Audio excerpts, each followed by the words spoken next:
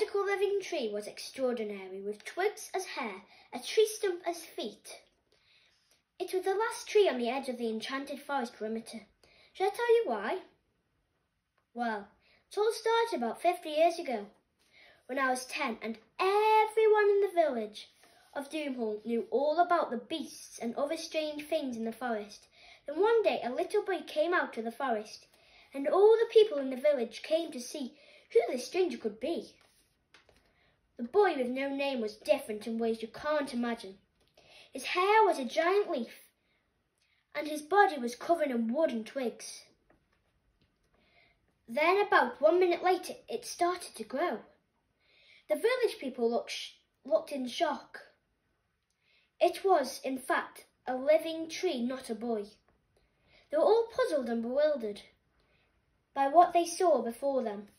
After a minute, they welcomed him with open arms. He looked frightened, but after a portion of Doomhall pudding, he felt welcome and settled into the village life.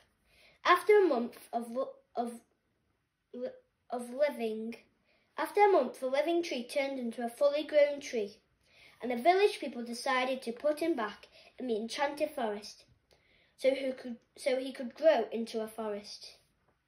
He became a family of trees, and the forest was a place of wonder.